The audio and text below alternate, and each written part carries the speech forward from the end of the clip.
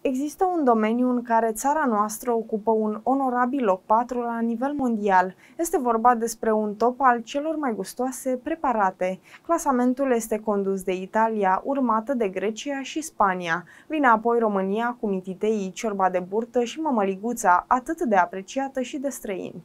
Conform Digi24.ro, turiștii străini care ajung în pensiunile din România sunt impresionați de peisaje, dar mai ales de gastronomia locală. Acest lucru este dovedit și de voturile internauților care au participat la realizarea topului celor mai bune bucătării din lume. Sarmale, mămăligă, cărnați sunt doar câteva dintre preparatele care au clasat țara noastră pe locul 4 în lume atunci când vine vorba despre mâncare. Preparatele apreciate de străini sunt și favoritele românilor, sarmale, grătare, plăcinte, mămăligă cu brânză, ciolan afumat. Sarmalele poate să fie orice fel de mâncare, dar dacă sunt sarmale, nu îi mai trebuie nimic. Sarmale cred că sunt mai specifice. Fasole cu ciolan, asta cred că este cea mai bună mâncare. Sunt doar câteva dintre răspunsurile internauților. Deși am putea crede că bucătăria românească nu este cea mai sănătoasă, nutriționiștii recomandă preparatele tradiționale în orice dietă. În loc să consumăm o felie de salam sau parizer la micul dejun, mai bine consumăm o felie de slăninuță. Este foarte bună, aduce acizi grași saturați, respectiv mămăligă cu brânză. Aceasta este slabă caloric și totodată aduce un aport important de calciu și vitamina D.